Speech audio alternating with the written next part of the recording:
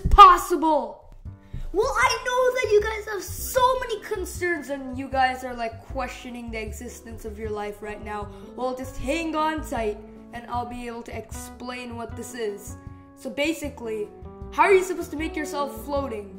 Well, you're supposed to build two pillars up to here, place the bed on top, and then have another device sleep on this bed.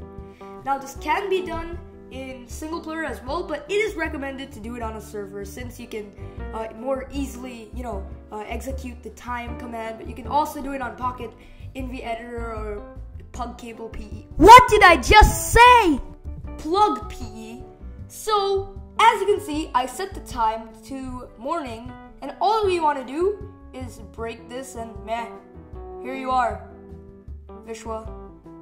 You are literally floating I don't even know if this is a good thing or not. So, um, yeah, I'm gonna take care of this.